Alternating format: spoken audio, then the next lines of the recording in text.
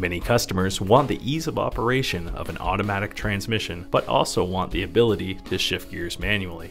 The Steptronic sequential shifter gives the driver both wants in a single transmission. When the gear lever is in drive, the driver activates the Steptronic shifter by moving the lever into its gate.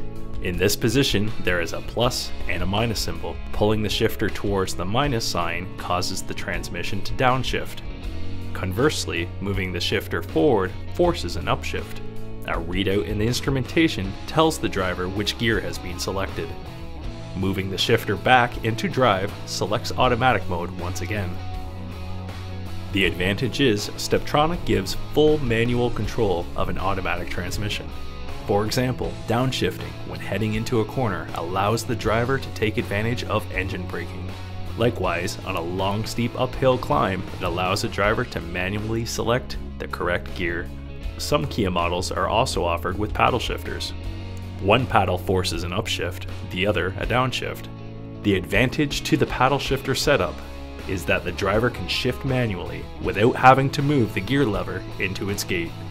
Having shifted manually, if the driver leaves the paddle shifters alone, the transmission reverts to its fully automatic mode.